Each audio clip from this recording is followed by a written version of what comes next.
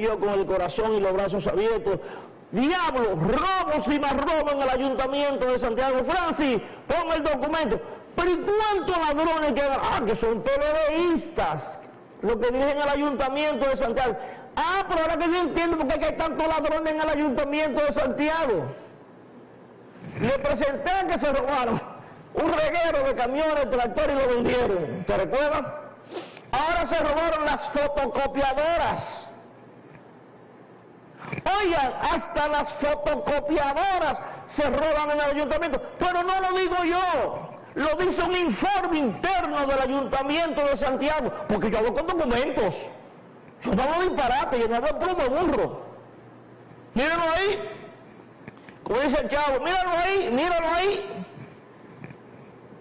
Contraloría Municipal Santiago de Caballeros, 7 de octubre del 20. Al licenciado Abel Martínez, alcalde municipal, licenciada Hilda Valle, dirección administrativa, asuntos, informa y la auditoría realizada las fotocopias alquiladas. Leamos esto conmigo. Cortésmente me dijo usted con la finalidad de informarle sobre el levantamiento realizado a la contratación de servicios de fotocopiadoras multifuncional, que multifuncionales, para uso de la institución mediante el contrato número AMSCS 2020-7 con la empresa Mega Office. Hay que investigarla, ¿eh? El cual inició en fecha 3 de marzo del año en curso por un periodo de un año.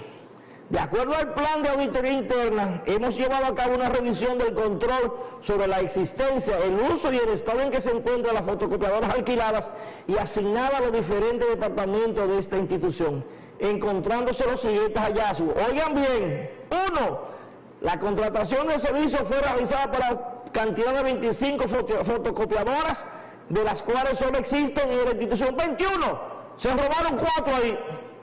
Oiga bien, Solo existen en la institución 21, se roban cuatro. En la Dirección de Comunicación y Relaciones Públicas no existen equipos físicamente, se los robaron también.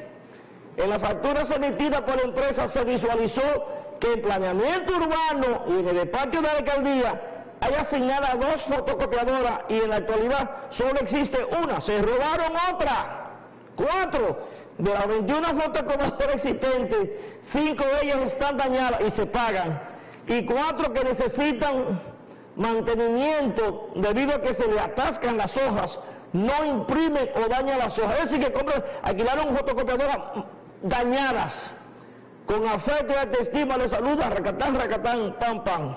Señores, hasta las fotocopiadoras se roban en el ayuntamiento de Santiago. Es una, es una banda criminal. Pero ustedes no me están entendiendo, ustedes no me creen que es una banda criminal. Es, es que son peledeístas. No estoy diciendo con esto que todos los peledeístas son ladrones, jamás. Conozco muchísimos peledeístas serios, muy bien. Pero esos que están ahí son una banda criminal.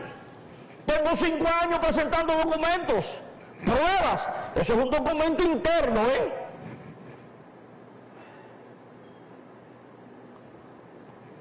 me está cortando la cabeza. Eso es un documento interno del Ayuntamiento de Santiago, un documento interno, no un invento mío de Esteban Rosario, interno, como lo que yo todo le presento. Y mañana le voy a presentar otro más para que usted cómo se roban el maldito dinero del Ayuntamiento, esta banda de delincuentes, una banda criminal.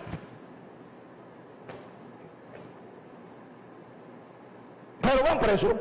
Mañana, pasado, la gente está desesperada, que no, no, no, no se desesperen, que esa, esa cuenta va.